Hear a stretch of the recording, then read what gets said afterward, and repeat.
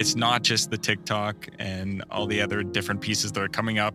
Five second video that makes life meaningful. What actually makes life meaningful for a lot of people are the relationships we have rather than the things that we've you know accomplished. It actually doesn't matter how much you plan into the future because tomorrow is not promised. I think I've I've kind of like existentially had like a crisis when I first like lost an eye myself because I think it really painted the picture of you know I could go fully blind.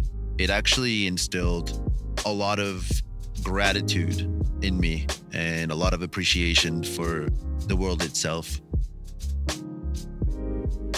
And today we are joined by a very special guest. Go ahead and introduce yourself, special guest. Special guest Kevin Jones here in the house. the house. Exactly. I do. I do it. Yeah. Thanks for joining us today, Kevin. Honestly, it's been, um, I'll, I'll, be honest, you were one of the first people when we were talking about guests that were like, we got to get this guy on because it's, it's going to be a dope experience. And so we know Kevin from our work in the field of mental health as well. Uh, and we've gotten to have a lot of different conversations. And when I say different, I would say that Kevin is one of those people who, similarly to Uriel and I, he's willing to have discussions about things that most other people would shy or cringe away from. And this man's dry wit is unmatched. And so it it always makes for some interesting revelations, shall we say, in in the way that the, the conversations go. And so, true to form, when we have guests, we have this game close, closer, closest that essentially gives us cards that are at three different levels of intimacy in terms of questions that they'll be asking. And so we'll go ahead and let Kevin pick the first one. And then we'll, of course, all answer the question as well. Go ahead and draw, my man. Okay, here we go. Ah, I knew it. Of course, it's going to be close. Let's go to the closest. We're here anyway. Let's Yeah. see. Want me to read this out? Go ahead, man. Excellent. What's the nicest thing anyone has done for you? Yeah, we did that one. yeah, yeah, we got that one with nice. Chris. Let's pull another one. Yeah, redraw. Come on, how many redraw. I did, did, I, did I shuffle? No, I did not You shuffle. did I literally just stuck it back at the end. What are the odds though? I don't know. Okay. Well, if you don't shuffle, it's 100%. there we go. It started. I like it. uh, have you ever stolen anything? Is the question here. Getting. All right. Oh, this is good. Should we get Kevin to answer that. first? Of course. The guest always answers first. Ooh, have I ever stolen anything besides the hearts of your viewers? Yeah, hard, hard to say. Uh, let me think here. No, I I can't think of anything that I've really stolen. No, no five burger discounts over here. That is impressive. Good for you. Uriel, go ahead. Uh, I can't say I've been that gracious in my life. Definitely, I was influenced. Uh, one time when I was a kid, just uh, yeah, do a little five finger discount on a chocolate bar. One time, eh? Yeah, only once actually, because I got caught, Oh, yeah. and then my parents took me to the store yeah. to Yeah, apologize, to and I had to pay. yeah, Yeah. I will say that uh, the answer is yes, and I'm just leaving it at that. Okay. No, actually, uh, your thing it reminds me of something. I think when I was about five years old, I walked Yeah. out with a Ninja Turtle. Oh, okay. And mom was like, "None of this." Which back- one though? Do you remember? Oh, I don't know. But yeah, the little plastic Yeah, Yeah, those guys. Yeah. Teenage Mutant Ninja Turtles. All about that when I was a kid. Yeah. Yeah, Take my age what you will based on that, I suppose. But Yeah, exactly. yeah. yeah. Secret. Yeah, mine uh, was people from school would talk about it all the time, and like one time I wanted, I wanted one. My parents said no, so I grabbed it, and then my like my dad saw me do it. Oh, no. like he let me take it, and then Oh. put me through the whole thing of like after we left the store to come back and like explain everything to the store owner. yeah, he and, taught like- you a good lesson. Put me through the lesson of yeah, not doing that again. Yeah, I remember this a similar story. I think it's funny. It's always seems to be candy or toys that Yeah. most most uh, kids do. And so for me, it was like uh, a little gobble gobble bum, a bubble gum. It was Hubba Bubba actually. Oh, actually that stuff slipped it in my brother's amazing. coat, and my mom same thing. Straight up saw, waited until we got through the checkout because it was at the checkout, and then she was like, "Yeah, you're gonna go up and tell them that you took this." And the reason I was taken is I was all excited that my mom finally bought us a Nintendo 64 after months of saying no forever. Yeah. And because of that, we had to delay being able to open it for an entire week. So after waiting months, Yeah. agonizing for this N64, my poor decision making further delayed something that I had been anticipating for a long time. So it was a good lesson. Nice. All right, Kevin. Okay. Number two. Card two. Oh, of course. Yeah. Let's go middle of the deck here. Yeah, I like it. There you go. Because we know the shuffling's not up to par. Yeah, yeah, yeah. I heard that. Let's see what we got here. What is the biggest lie you have ever told? Ah, lying and stealing, eh? All right. Wow. You want to go first this time?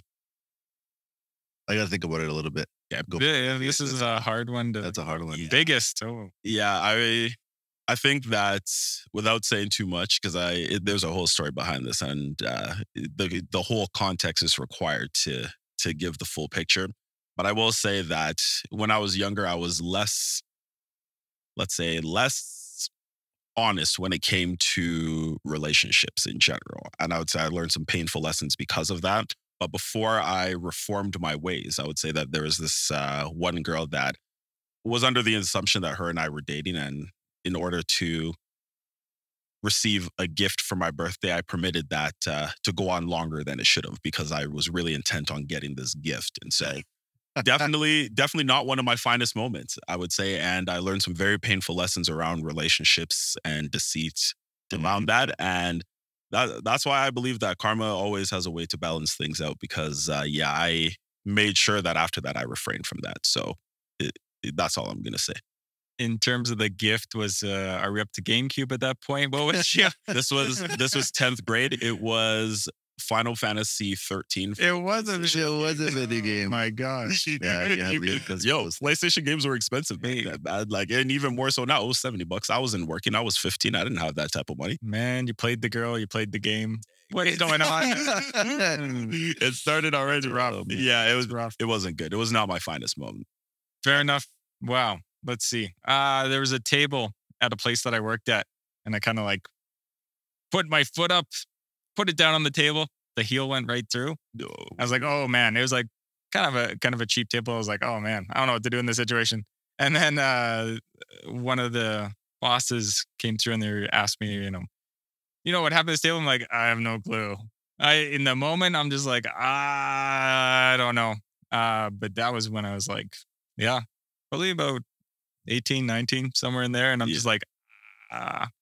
But yeah. You know, if I eh, looking back on it, I, I wish I would have taken some responsibility. Like, you know, it was me. I could have paid for the table or whatever. But uh, in that moment, I was just like, ah, just the shame of it. Yeah. With shame, you want to hide, and that's kind of what I did in that moment. Yeah. Yeah. I feel that. I think for me was when I was in grade seven.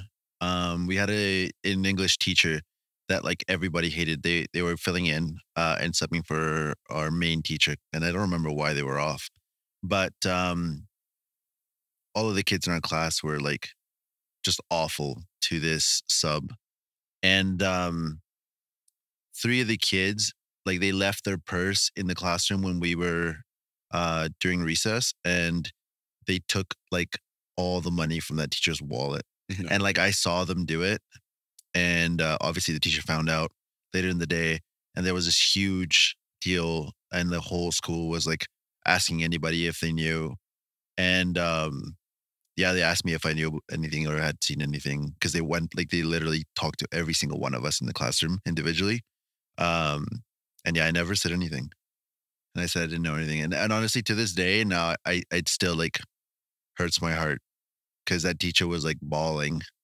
and uh nobody ever got in trouble for that yeah. That's rough. yeah Yeah. You never know people's situations. And when you hear things like that, and she, you would think, oh, yeah, you know, she could just go get more. But yeah, it's, it's never that simple. Right. Yeah. And that's the context that you lack as a child and sometimes i think back to and i'm like yeah if only i had none i had known better i would have done better but hey that's Yeah. the, that's the benefit of hindsight right and being Yeah. able to apply things going forward yeah and it's funny because like all the kids that did it they started like bribing people and giving people money so they wouldn't say anything and i i, I didn't take any money because i was like yo i want nothing to do with this Yeah, and like if you guys get caught then i get associated with you guys. So i was like but yeah uh, she was she was i don't know i thought she was nice. Yeah. i was like one of the few people that thought she was cool but at least you had that wisdom. Yeah. The yeah the accomplice of a thief is bound. He dare not testify. We wanted to have a conversation about a interesting topic that kevin brought forward that is something that i personally hadn't really thought about previously and that's this idea of how we can actually leverage death as a positive constructive force in our lives. Now kevin i'd be interested in hearing from you. Why is this something that you were interested in talking about and how did you actually begin conceptualizing this idea that death can actually be used for positive things Well, I think it's just interesting here. You know, in Western society, we have so many euphemisms about death. We feel so uncomfortable about how we talk about the end of our life for something that's going to happen to all of us eventually, right? So a lot of times people shy away from it. So, you know, you think uh, cliches of like, oh, the dog's just gone out to a farm, or you know, uh, grandma bought the farm, right? And what do those things actually mean? Well, they keep us, you know, a little bit away from what it actually means to be human. I think when we're looking at death as a whole. So, um, obviously, working in mental health, I think the topic of death comes up a lot. Suicidal ideation is huge, and especially when times get tough. Uh, many of us can have thoughts about, you know, wanting to end our life. Um, so death, in a lot of ways, kind of gets like a, a really negative, a really bad rap. But um, you know, thinking about things like, uh, for me personally, a, bucket list, right, and looking at knowing that the end is coming and using that as a motivational tool to get me off my butt today to get out here and do like a podcast, for example, rather than be like, oh, I'll get around to that sometime. Eh, You know, we never know how much time we're going to have, but recognizing that our time is finite and trying to make the most of it by recognizing that it does have an end, I I think can be a huge motivational factor if we allow it. But it takes a real honest look at, you know, what it means to be mortal here. So I think it's an interesting topic and uh, hopefully fruitful for your discussion here. Yeah, there's different angles to really look at when you're trying to utilize death constructively. I think it's like Kevin mentioned, it's important to understand that we have a finite amount of time. And although we all hope to live long and healthy lives, we don't actually know what exactly is going to happen and how things will play out.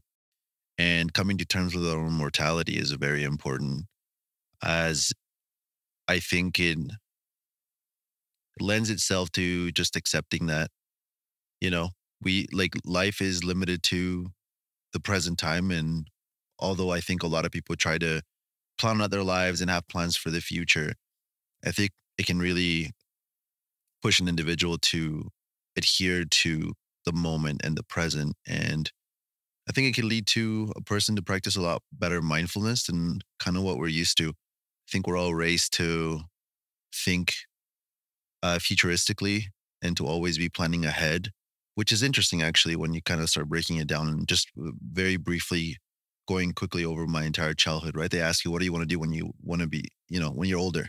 Like, what kind of career path do you want to have? But unfortunately, not all children have the opportunity to grow up and be adults or you know be healthy to be able to practice those things. And me myself actually for the longest time i wanted to be a pilot. I wanted to actually be in the military and i don't have the opportunity to do that right? Um i wanted to be also a police officer. And so there's limitations because of unfortunately the cards that i was dealt physically that i'm just not able to do certain jobs. And so i think in in that same way i came to terms with some of the things that are holding me back but it doesn't necessarily mean that that's the end to life.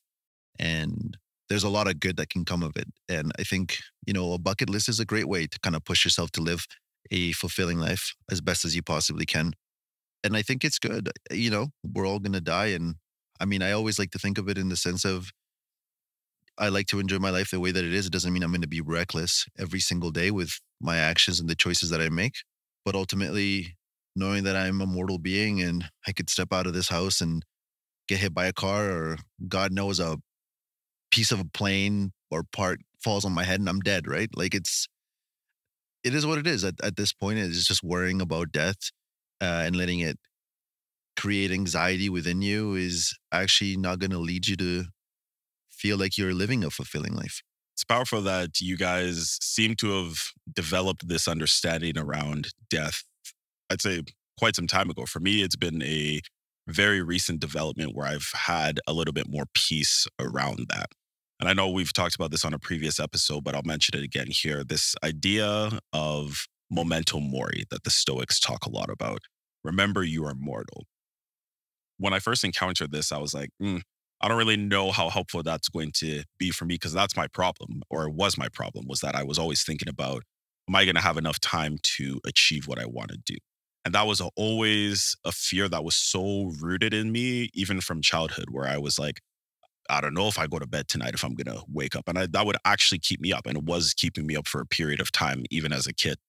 And as I got a little bit older and started having more agency in my life, I would say that that reduced because my worry was that I wouldn't get to a place where I have complete agency over my own life in terms of access to my own resources, the ability to do what it is that I wanted to do while not being expected to, let's say, obey the rules of my parents, because that was a huge issue for me growing up.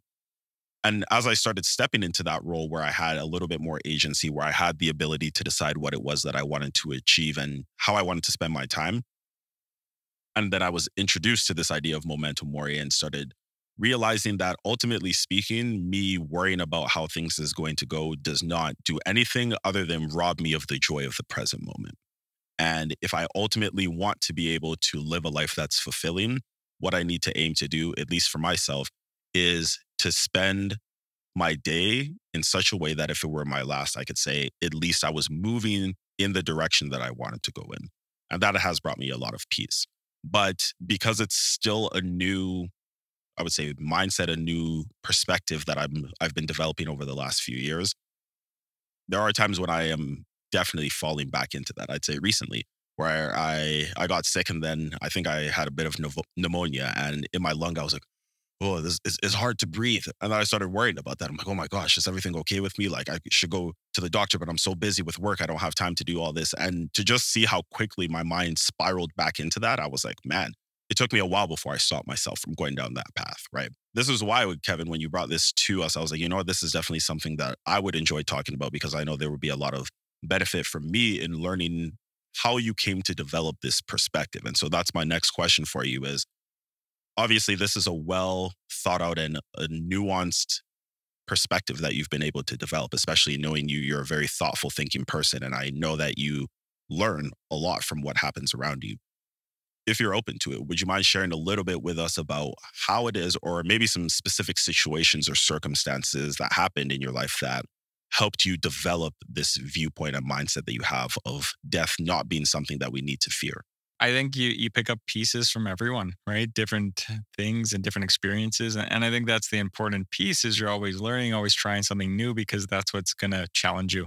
Uh, we can be so comfortable, so complacent in terms of just doing the same thing every day just because it feels comfortable. But um, for me, the bucket list idea where I first kind of came from was actually from a girlfriend that I had in high school. Had a bucket list. I thought it was a pretty cool idea. I was like, you know, thinking that time is ticking. What do I want to do and accomplish in my life? And you know, first couple things you put on there um, as you know a 15 year old kid probably not big dreams, uh, you know, that develop um, over time and pretty vague um, as we're looking at things there. Um, but I think that's a lot of it is, you know, finding out what is important to you, spending time doing that. When we're looking at, you know, that mindfulness piece that you really alluded to. Think of John Lennon when he says, you know, life is what happens when we're busy making other plans. Thinking very much about this idea of like, I'm moving in the right direction. Like, but what about like being here in the moment here? Um, you know, maybe we can't be in the army, but we can wear some nice camo pants. Yeah. Yeah. Still rock it, Exactly. rocking that look there, Ariel. So uh, again, I think it's about, you know, finding what's important to you. Uh, as I started to develop more of a understanding of psychology in general, ex- existential psychology is important. So a lot of existential psychology is about how do we deal with the fact that we are all, mortal, recognizing that, you know, it's not just the TikTok and all the other different pieces that are coming up. Five second video that makes life meaningful. What actually makes life meaningful for a lot of people are the relationships we have rather than the things that we've, you know, accomplished. We can spend a lot of time trying to like prove ourselves in some way that we're good enough when it's like you look at people who are on their deathbeds and they're looking back and they're reflecting on what's important to them in life. No one's like, ah, you know, I wish I would have got that company up to a million. Yeah. Or I wish I would have spent more time at the office or built my fortune. You can't take it with you. It's the relationships, it's the time you spend with other people that they always allude to, or the things they wanted to do but never got around to doing. Not from an accomplishment perspective, but it's like, ah, I wish I got away to Paris. Yeah. Um, so for me, knowing that the clock was ticking and kind of having that mindset from an early age, I've been able to really prioritize. And, and again, some things that I thought I'd be really into. I actually um, like the idea of being a pilot myself. Um, and then I was super excited. Uh, my uh, wife, a girlfriend at the time, bought me a certificate to go do a flight lesson. I was like, this is Yeah. exciting. I've wanted to do this a long time. Uh, I got up there and assessed it, and I'm like, this isn't what I want at all. Yeah. Right. So li- life can be surprising that way. Um, so I, I think, you know, in terms of finding out what's meaningful to you, relationships is a good place to start, but trying new things um, is important. And, and again, just doing your very best to be in the moment because we never know what exists beyond the moment. It's interesting, you know, for from a perspective on death, it's something we don't actually experience. Yeah. Right. It's something that we lose consciousness when we die. Right. Um, we we don't have a great fear about what happened before we existed, That's true. but it's a similar kind of experience. There was a non-existence that occurred at that point that we have no fear of Yeah. but it's just this unknown piece now that we do exist we got some self-awareness we're so worried about what the world will be like without us when we're not here anymore um, but the world's been around for a lot longer than me Yeah. despite uh, how old i feel like i'm getting here so Yeah. Yeah, those are all actually honestly great points. And um I think I've I've kind of like existentially had like a crisis when I first like lost an eye myself because I think it really painted the picture of, you know, I could go fully blind one day and not be able to look at people or, you know, not be able to look at my loved ones. And it actually instilled a lot of gratitude in me and a lot of appreciation for the world itself. Um, I I would actually say that that was probably the greatest um, changing point in my life, like the catalyst that led me to really just take life more seriously, generally speaking, and take myself more seriously, take relationships more seriously. Obviously, there's a lot of growth that has taken place since, and um, but I think I I kind of hit like a rock bottom place where yeah, like life completely changes where you sort of realize that you're not as that you're far more vulnerable than you actually believe you are, especially in your youths when you often think like you're indestructible and you can kind of just go along life not worrying about what could or couldn't happen and then having to then be worried about you know running into things or you know protecting your your own eye and hoping that nothing critical happens. I mean to me it could be something as simple as getting into a car crash and you know or running into something by not looking. So it's it's been obviously a, a, a crazy adjustment. And so when i think of of death itself i think to me i've i've thought about it maybe not necessarily in that exact same way but i think about like how my present life would basically die if i went blind. Because life would not be exactly the same as i have lived it the moment I completely lose my sight. And um, you know what that would be like. I wouldn't be able to perform my job. I wouldn't be able to perform some of my hobbies or the activities that I enjoy.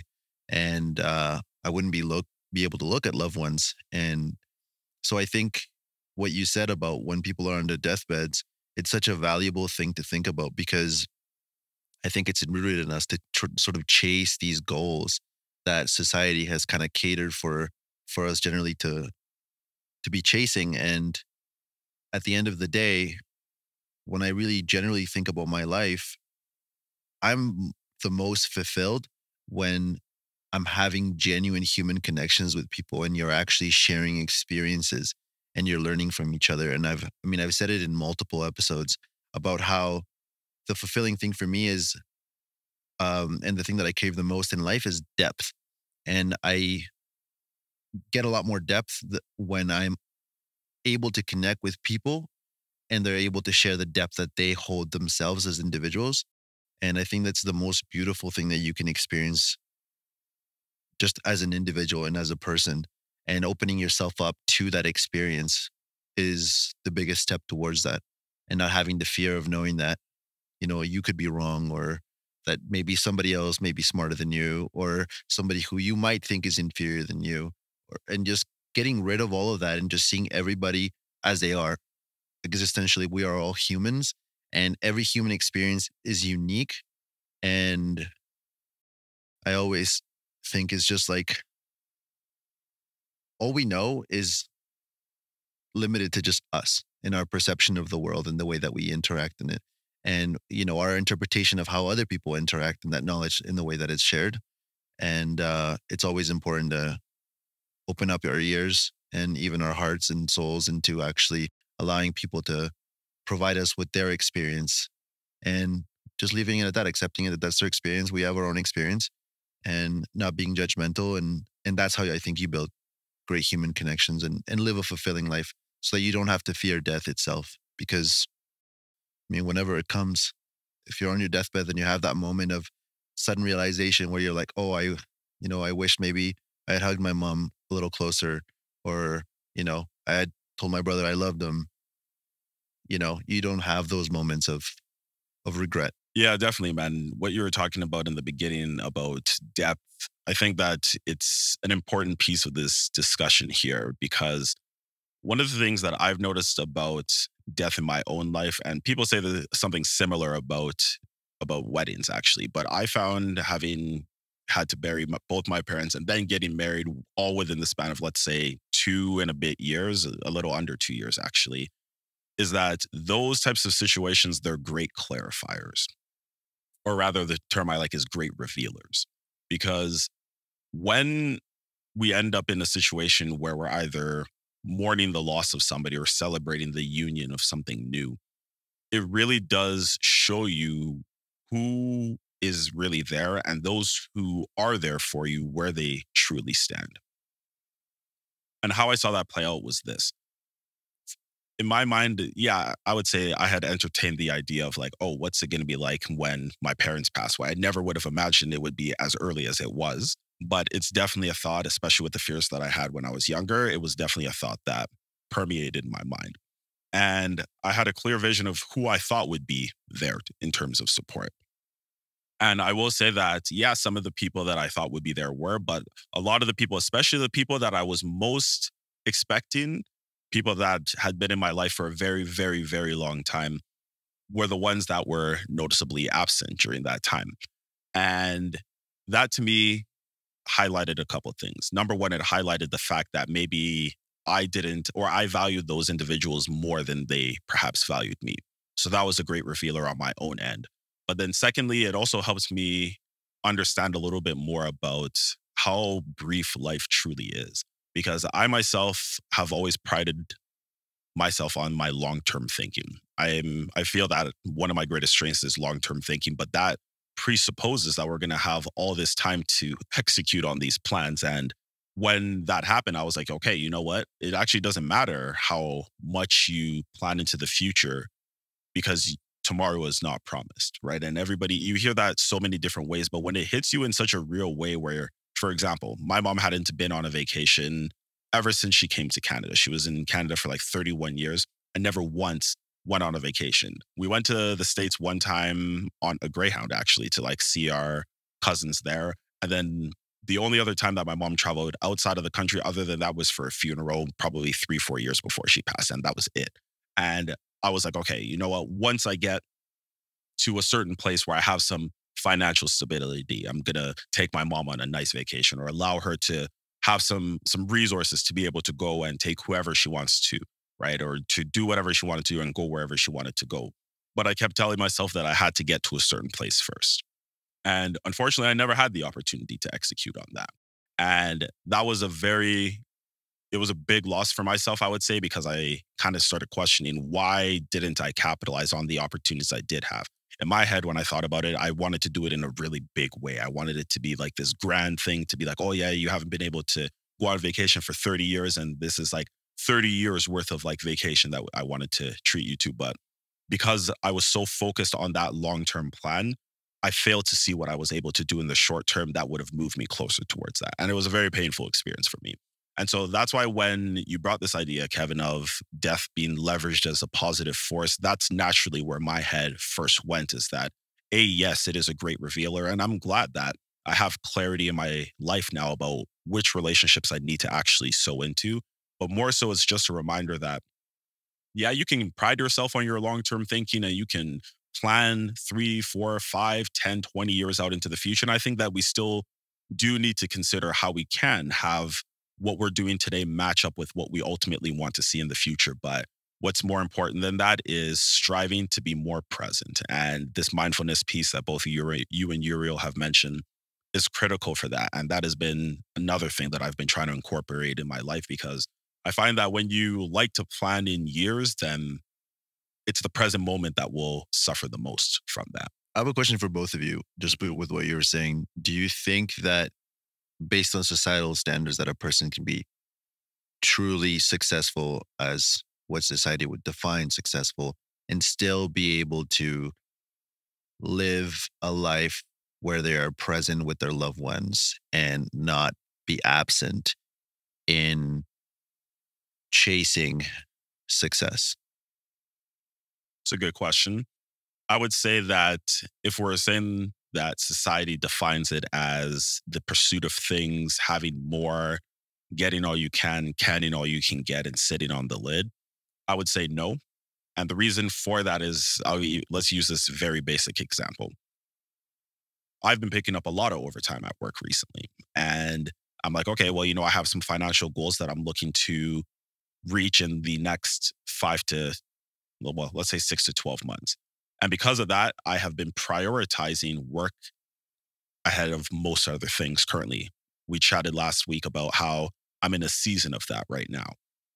And I would say that currently, the way that I'm spending my time, it does not match up with my values because I've heard it said this way that your heart is where your treasure is, right? And the most valuable things that we have on the face of this earth, well, the most valuable thing is time. And then what we as a society value the most, I would say, is resources, money. So if we say that time and money are some of the most valuable resources, one being infinitely more valuable than the other, then the way you spend your time and your money really reveals to you what's important. And I would say, based on how I've been spending my time, that's not in alignment with what's actually important to me. What's actually important to me is building my family, right? Striving to become the best version of myself, taking care of myself, and creating a community where we can all feel like we're pursuing something worthwhile and empowering each other to do so. So I would say my first answer is no, but I need to think about this a little bit more. Kevin, what are your thoughts?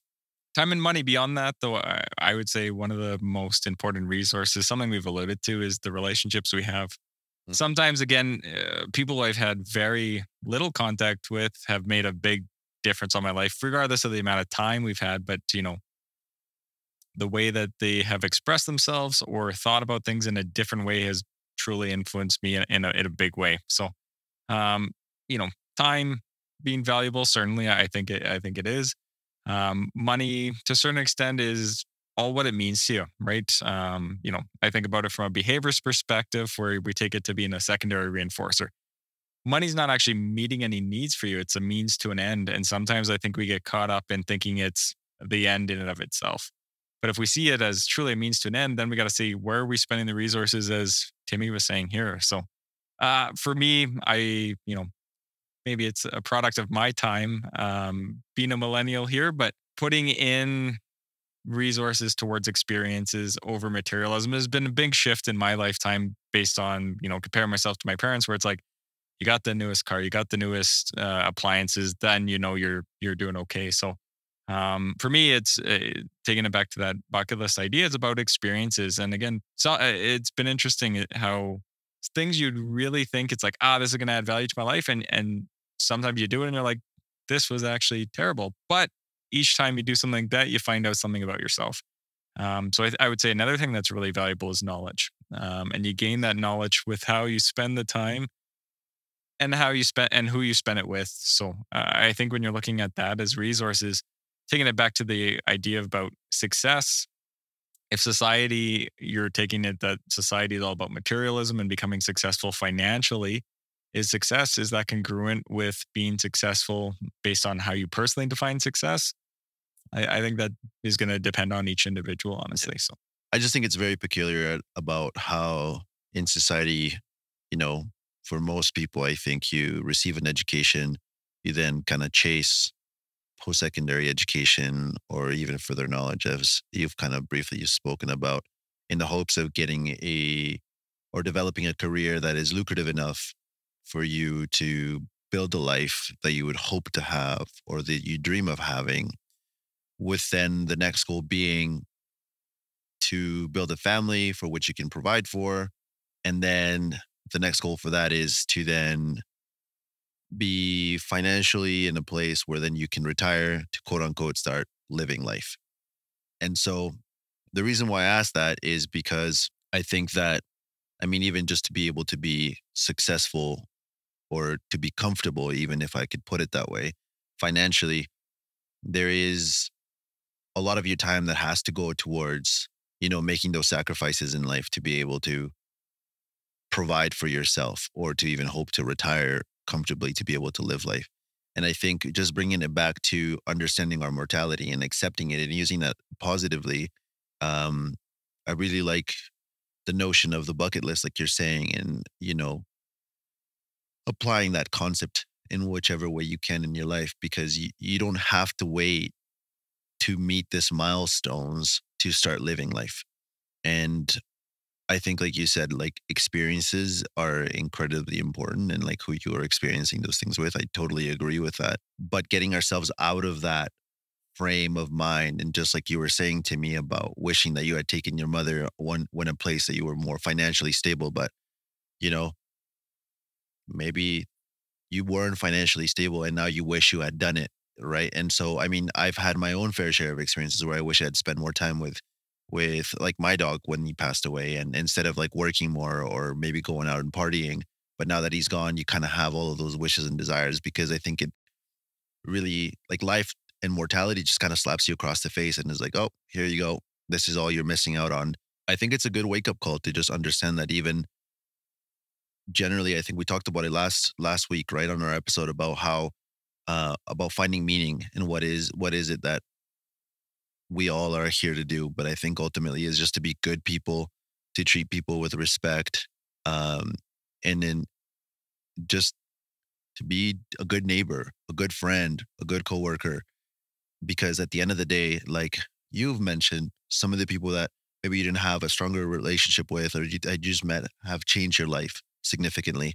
And we don't actually know the impact that we are having on other people and how our behavior or just the way that we are on a day to day basis can actually impact the lives of others. You know, I, I would hope that I I have that impact on people as I come across. And we're not perfect, and we all, you know, have our moments of, of vulnerability when we make mistakes.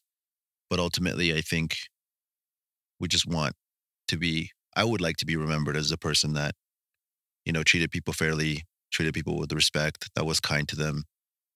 And like I said, I haven't been perfect, but it's almost like it feels like I, I need to feel like I need to make up for the mistakes that I've made in the past. Uh, because when I'm on my deathbed, I would hope that the thoughts that are crossing through my mind is that I, you know, I was good to the people that that surrounded me, and that I hope that they think the same thing about me. Yeah, what you're talking about is legacy, right? Like, what is it that you leave in people and for people when you're no longer here? I think that when I had some mentors in my life that talked about the importance of considering that, it, that also kind of helped ease what was then a significant worry in my life about leaving this earth before I wanted, before I accomplished all that I wanted to do. And more so just reframing it to be like, you know what? While I have no control over the day or the hour that that is going to happen, I do have complete control over how I prioritize my time currently, right? And it comes back to what I was talking about earlier with the with death being a great revealer. I think that the other piece of that is that it really allows you to have a deeper understanding of what is actually truly important, not necessarily just who, but what in terms of how you go ahead to spend your time. Because as we've talked about a couple times now with this idea of being on your deathbed, I remember the very first time that I saw one of those, it was a BuzzFeed post that was like, ooh, the top five things or the uh, something along the lines of five things that a that the dying regret from a palliative care nurse. I remember the first time it popped up, I was like, ah, I don't think I'm ready for that. Because I didn't want to put myself in that mind state to be like, okay, if I was on my deathbed, are these things that I would regret? But as social media does, it loves to bring things back to your feed and just ensure that you click on things that other people are clicking on so they can get that ad revenue. So it came back up eventually. And when I did read it, I was like, man, I wish I had actually read this sooner because it did bring me a little bit of peace. Where they were talking about mostly and it's very common themes, right? I wish I had spent more time with my loved ones. I wish I had spent less time pursuing resources, pleasure. And I wish that I had followed through on things that I had in my heart, but maybe lacked the courage to actually execute on. And for me, that was actually reassuring because I then had a pathway to actually apply what it was that was previously holding me back to my benefit. And that is that, yeah, you know, I don't want to have to say that. And so today, this is what I'm going to do to move closer. I think an interesting quote that, you know, has always stuck with me, and I can't remember who said it, unfortunately. Um, but everyone dies, but not everyone truly lives, right? So much of our time, I think, is spent in fear. What are other people going to think about me? Or what if I go over and travel somewhere and then I lose my wallet? Or is so much time is spent worrying about things that we don't actually live our lives. We spend so much of thinking about what if. And I think those two words really are at the height of anxiety. Yeah. Uh, when we look at, you know, what if this happens? And it's not like, what if I win the lottery? Yeah. right? Yeah. I mean, it's always like, oh man, what if this terrible calamity happens? Right. Yeah. But, ah, you know, uh, that that's really stuck with me quite a bit. It's like not everyone truly lives. You get to decide every day how you're going to live your life. All of us come from different backgrounds, right? Uh, facing different struggles in our in our life, but um, something that I realize, you know, from a therapeutic perspective, is like, yeah, a lot of times as kids we don't get to write our story. It's Yeah. dictated by our parents. They tell us how things are going to be, what we're going to eat, who our friends are going to be with to a certain extent. Yeah. It changes as we become teens, but um, some people, as they grow into adulthood, don't realize they have the pen in their hands. Um, and they're kind of stuck with that same narrative that they had from kids. You know, why do I have to do this? Well, that's what dad would have wanted, or that's what mom always said. And, you know, if you realize that how much power, how con- much control, how much freedom you have to write the narrative of your own life, um, you know, one thing that I always or try my best to do is, is this an experience that's going to lead to a story? Um, that's something I really value is the narratives that we develop in our lives. And if we get to a place where it's like, you know, did I tell you about the time I almost did? Uh, already you've lost me in terms of the story, right? So I think being able to take chances, do something outside the norm, not only gives us information about um, what we enjoy, but who we are as people, right? And what some of our limitations are, but also what some of our strengths are when we push through things that those are boundaries that we had set for ourselves, but we really recognize that it's like, oh man, I could do that. And then you move on to the next step. So I, I think the importance of, you know, taking time to take chances and, and truly live because again, everyone dies. That's where we're at. Yeah. But if you don't take the time to live, that's the most wasteful. That's the real tragedy, I think, of the human experience. I, I don't know why I just kept thinking, and I, I don't know who said this as well, but it's like nobody ever remembers the things that you say, but they always will remember the way that you make them feel. Yeah. And um, and I th- oh I, I know why I was thinking about it because you're saying about how people always worry about you know how other people see them and stuff, and I that was something I struggled with very significantly for a large part of my life, um, until I kind of just led my life by the thought of like treating others in the same way that I'd like to be treated. And then I stopped questioning whether or not, you know, people thought these things about me. And I just kind of made it my goal to treat people in the same way that I would like to be treated, regardless of what the situation is. And then it kind of cut that thing out of out of it and that that anxious perspective of feeling like, you know, I need to impress these people or I need to make them think this type of way. And it actually is such a freeing thing and it makes you live. But also, I found that it, it is, it almost opens up these new doors where you actually are able to take interest in people and then build these experiences with people. And uh, you develop more authentic and um, deeper relationships with uh, with other people because you're more open and willing to be vulnerable in, in different ways and more authentic, right? Because you you're not afraid to just being who you are, and you understand that, you know, not everyone's gonna like you, not everybody's gonna see the way that you you see it. Uh, but more importantly, is just taking the chances, like you said, um, and that was something that I always struggled with as a kid.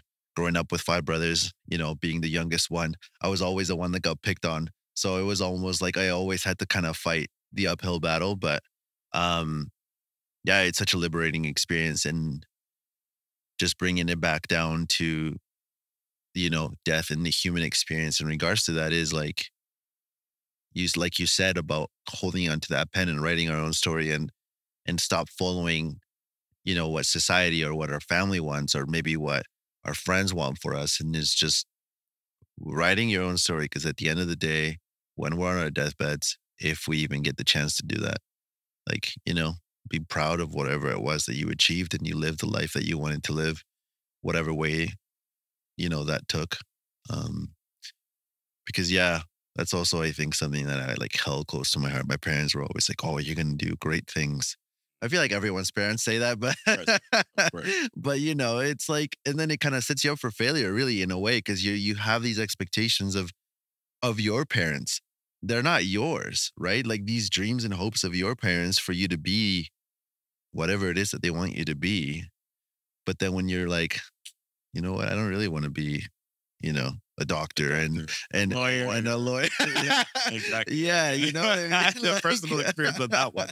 Yeah, man. it's so liberating to just you know live your life in that way and it was so funny because i think my two of my brothers like very much um i, I love them to death but they're very inspired by like my father and they very much followed almost like in the footsteps of what they what my what i i perceive my father wanted for them and i i see those like how they revert back to those roles right in the family um and i i'm kind of just like i used to be that way but now i'm just this like um wild horse i guess and like i'm not tamed anymore and i see how even in my relationship with my father who i love dearly how he like wants to tame me back just because he has that with my other siblings but i'm just kind of like you know i've i've built those healthy boundaries and and and developed that relationship with him in that way but i didn't feel like i was living a fulfilling life you know when i was living that way and so I think I really that what you said really resonated with me a lot when I just kind of took control of my own life and started to expose myself. And even just doing something like this, a podcast, right? Yeah. Um, just me physically, I had a lot of anxiety around my eye, like being in front of a camera. What are people going to think? How are people going to judge me? I mean, I had a lot of fear even just looking at people like in their eyes because I was like, oh, they're going to see that maybe I have a lazy eye or or whatever. And I mean, I get comments like that made all the time. But then it's almost like exposure eh, therapy, you know? It's like you just expose yourself to something and then it no longer has that effect on you. And so, yeah, I do, I do believe in that. It- It's such a powerful thing when you sort of just allow yourself to expose yourself to things that you're like, hey, you know what? Maybe I like this, maybe I don't. And so, yeah, that's some powerful stuff, Kevin. for sure. And the theme that I kind of heard throughout to try to bring this and tie it in a nice bow is that a lot of this stuff starts in childhood. And depending on how you were raised, the environment you were raised in, maybe your parents' beliefs around things such as death, you start to develop these internal dialogues and these stories about how that plays out. And so something that I know all three of us have in common is that we do want to have kids in, in the future. And so I'm curious to ask you guys, well, I want to ask you guys this question to as kind of a concluding thought. What do you guys think will be your first lesson to your children or child about death? I don't know. I don't think I have an answer for that. Yeah. Yeah. Yeah, it's a it's an interesting one that just popped in my head. Kevin, is that something you I got an consider? answer. All right, let's let's hear it. I think kids have a natural curiosity about them. They're going to be curious about Yeah. death because they're going to come across roadkill or Yeah. they're going to come across a cartoon Yeah. or a grandma's going to pass away or a pet's going to pass away. I. Life, if there's anything that's guaranteed in this life, they say death, Death and and taxes, right? So death is going to present itself. I, I think it's just meeting your child where they're at, right? They're going to come there with that curiosity about having an honest, open discussion, but at the level that the child can understand, right? Um, they're going to have questions about it. They're going to be curious naturally about all things in the world. Death is another one of those things. It's going to show up for them at some point Yeah. anyway. I think there's a lot of approaches, a lot of damage that can be done by just trying to hide death yeah. right? Um, but if we talk about it, you know, mommy and daddy, yeah, someday they're going to pass away. Not for a long time though. We're going to be here to protect you. We're going to help you grow. Yeah. But yeah, it, it's something that is going to happen to all of us eventually. But we get this wonderful experience to exist on this planet. Uh, just taking a moment to recognize how strange existence is, right? Yeah. Um, you know, you take it to the level of space, and we're on a planet soaring through a universe that's ever expanding, Yeah. right? And uh, we're so focused in on a little device most Yeah. of the time, right? Yeah. So um, That's a I good point. I I think life finds a way to present us with opportunities to have these discussions. The importance, I think, uh, as a parent, is showing up for those discussions, not necessarily having the answers. Who does? Yeah. but being able to meet the kids where they're at and talk them through that experience in an open, honest way based on their level. Yeah, Yeah. love it, man. Open and honest. The themes of this show. But I love how we we're just talking about like experience, and I think that that word keeps coming up, Yeah, right? And because I think the human experience, right, and we just kind of forget that it's yeah, that's the most important thing. Yeah. And I really like what you said about answers. I think as a kid, I always thought about like I, you, I always had to have an answer, and I think we've talked about that Yeah, before yeah. about always asking the whys. Um, Yeah. and you know, I think like that was also like one thing that I think held me back along a lot in my life. Like, why do we exist? Why, you know, what is the role of? And I think sometimes it still kind of stems me, but instead, just like you said, instead of like just focus on like the people that are in front of you. yeah, Um, I forget that sometimes, and you know, I think we need to give ourselves constant reminders of that because we take that for granted. We take human life for granted. I think yeah. honestly, less greed, more generosity. Generosity. I like it. Thanks for tuning in to today's episode, guys. Kevin, appreciate you coming through, man. This Yeah. was this was dope, and so we're definitely gonna have to have you come on for round two, and we can uh, see you dive fearlessly into closest again. that, was, that was good, man. Excellent. Thank you for having me. Appreciate it. Yes. Of course, man. Yeah. Thanks for Thank you. listening, guys. Stay blessed.